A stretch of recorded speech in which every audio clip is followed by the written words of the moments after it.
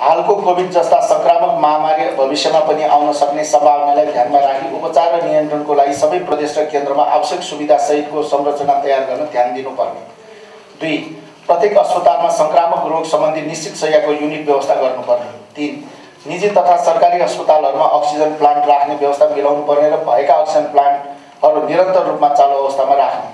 चार सङ्क्रामक तथा अन्य रोगहरूका बारेमा जनस्तरमा निरन्तर रूपमा जनचेतना विकासको अभियान सञ्चालन गर्नुपर्ने।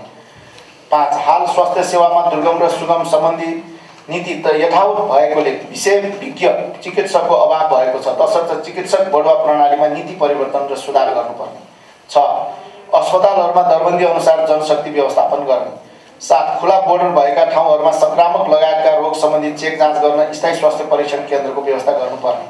आठ प्रादेशिक अस्पतालहरू प्रदेशले नै सञ्चालन गर्ने व्यवस्था मिलाउनु पर्ने नौ केन्द्र प्रदेश र स्थानीय तह अन्तर्गत सबै अस्पताल र स्वास्थ्य केन्द्रहरूलाई सञ्चालनका लागि स्पष्ट नीति ल्याउनु पर्ने।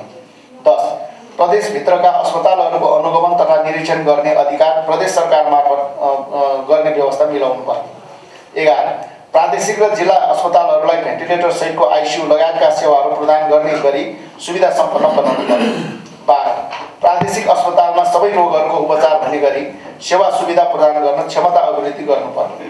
तेह्र मानवीय वातावरण सहितको बस्ने स्थिति निर्माण गरी यस्ता सङ्क्रामक रोग तथा अन्य स्वास्थ्य समस्याका उपचार तथा व्यवस्थापनका लागि छुट्टै बजेटको व्यवस्था गर्नुपर्ने। चौध निजी अस्पतालहरूमा स्वास्थ्य उपचारमा समरूपता समरूपता कायम गरी दर रेट सम्बन्धी नीति निर्माण गरी लागू गर्नुपर्ने।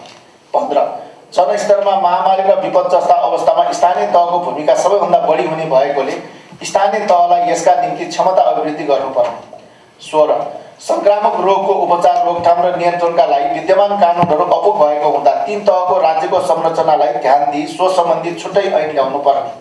सत्र सर्वसाधारण नागरिकका लागि कोरोना भाइरस कोभिड उन्नाइसको खोप वितरण कार्यक्रम सरल र प्रभावकारी बनाई यथाशक्य चाँडो खोप उपलब्धताको सुनिश्चित गर्नुपर्ने अठार छिमेकी देशहरूमा कोभिडको लहर पुनः बढ्दो क्रममा देखिएकोले सरकारले पनि सो सम्बन्धी आवश्यक सतर्कता अप्नाउन कदम यति अठारवटा सुझावहरू हामीले यसमा समावेश गरेका छौँ।